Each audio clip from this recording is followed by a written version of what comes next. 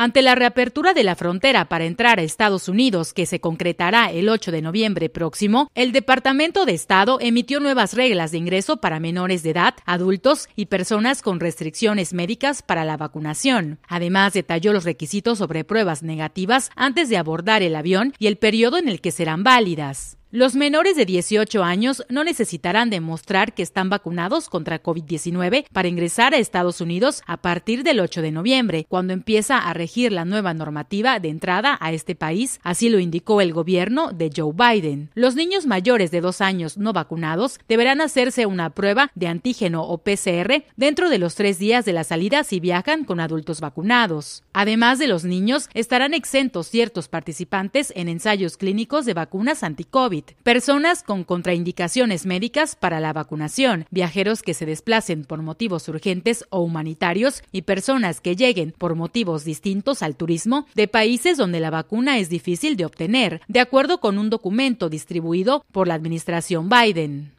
Estados Unidos admitirá la entrada de ciertos ciudadanos que lleguen desde países cuya tasa de vacunación sea menor al 10%, haciendo caso al llamado de la OMS a no discriminar por la falta de acceso que algunas naciones tienen a los antígenos. La mayoría de este tipo de exenciones es para viajeros provenientes de África y países como Nicaragua, Haití, Afganistán, Siria o Irak. En general, cualquier extranjero deberá hacerse la prueba dentro de los tres días antes de partir si está vacunado o en el día anterior a la salida si no está vacunado. Estados Unidos informó que serán aceptadas todas las vacunas aprobadas por la Agencia de Medicamentos FDA y la Organización Mundial de la Salud. Por el momento, esto incluye las vacunas de AstraZeneca, Johnson Johnson, Moderna, Pfizer, Sinopharm y Sinovac. Esto excluye por ahora a los viajeros inmunizados con la vacuna rusa Sputnik 5 y la china CanSino, sin luz verde aún de la FDA ni de la Organización Mundial de la Salud, pero que fueron aplicadas en muchos países latinoamericanos, incluidos Argentina y México.